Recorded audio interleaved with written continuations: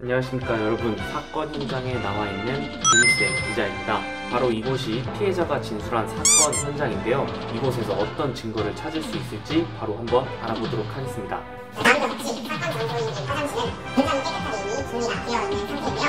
이 상태에서도 사실 우리들이 어떤 피해를 받았는지 확인해 볼 수 있는 방법이 한 가지 있습니다. 그 방법은 바로 용액인데요. 이 용액을 이렇게다가 뿌리기만 하면 은 어디서 어떻게 피가 나게 되는지 한 번에 알아볼 수 있습니다. 그럼 한번 뿌려보도록 할까요?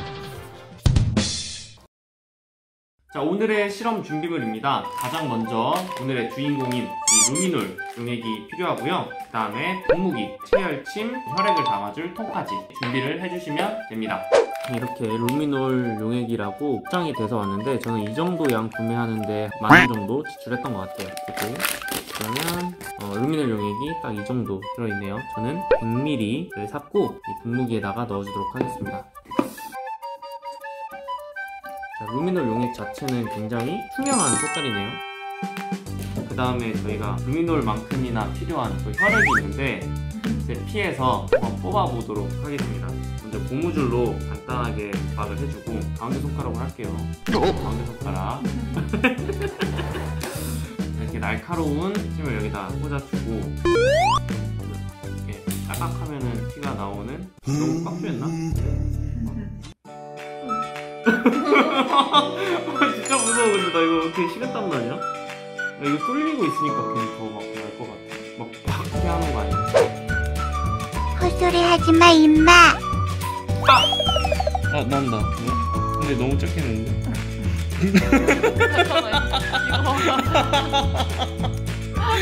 이게 뭐야? 피난거 맞아? 거의 왜 점인데? 났어? 어 근데 생각보다 아프진 않은데? 근데 너 피가 진짜 안 난다. 뭐야? 이걸로 실험을 할 수 있을까? 과연? 엄지 손가락으로 해볼까? 어 뭔가 더 깊게 상처가 나야 되나? 근데 원래 그 정도 나긴 할 거야. 깊이 찌르지 않는 이상 이 정도 나잖아. 코피를 채취했는데요. 사실 제가 이거 하기 전에 코피가 나가지고 코피 조금 넣어줬어요. 근데 이거 하니까 그렇게 많이는 안 났던 것 같아요. 이 정도랑 물이랑 섞어서 그 혈액을 만들어 주도록 하겠습니다. 그 다음에 이걸 가지고 뭐 할 거냐?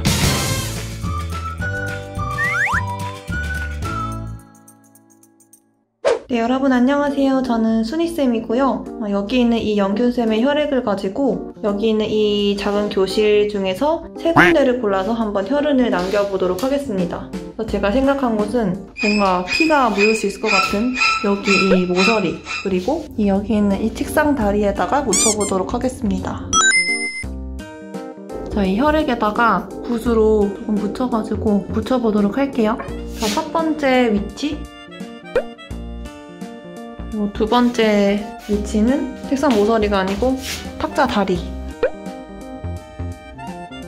그리고 마지막으로 이제 균이쌤이 이 눈치채지 못하도록 이런 흔적을 깔끔하게 휴지로 지워주도록 하겠습니다. 은근히 찾기 어려울 것 같기도 해요.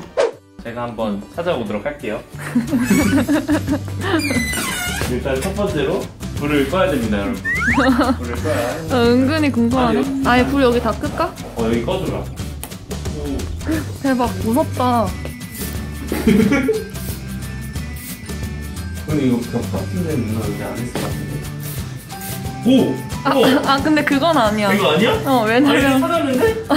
아 왜냐면 이거 아까 붓을 내가 올려놔가지고. 아, 그래? 어 근데 진짜 선명하게 찍힌다. 와, 진짜 이거 좀 많이 묻혔어, 근데? 그래도 나올 만큼은 했을걸? 이거 다 쓰는 거 아닌가 모르겠네. 아 힌트를 좀 줄까? 어? 이거야? 그거? 어? 맞지 않아? 근데 지워졌어. 그거 아닌데. 이거 아니야? 이거 왜 거기 나타나지? 이거 뭐야? 누가 피 흘렸던 거 아니야? 서로 서로. 아 이거 진짜 아니야? 아, 아니야. 어? 어, 뭐야 근데 왜 나타나 갑자기 얘만 여기 누가 피 흘렸던 거. 헐 무서워. 어 뭐야 이거 아니 사건이 일어났던 거 아니야 진짜 여기? 잘못 찾네. 가까이 여기 아 이거 너 찍는 거 다 찍어야 아, 될거 여기 아니야? 있어? 모르지. 안 나와 오늘 뭐 어디 어디가 어 여기다 여기 맞아? 여기 맞아? 맞아. 와 엄청 잘 나와 많이 뿌렸네. 음, 나 그렇게 많이 하지도 않았는데. 우와, 아, 이거 봐. 진짜 신기해.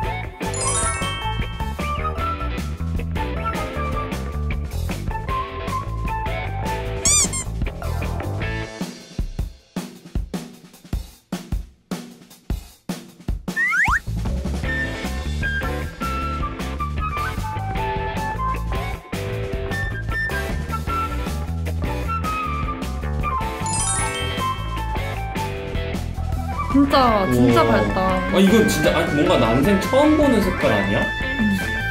그죠? 우와, 진짜 신기해.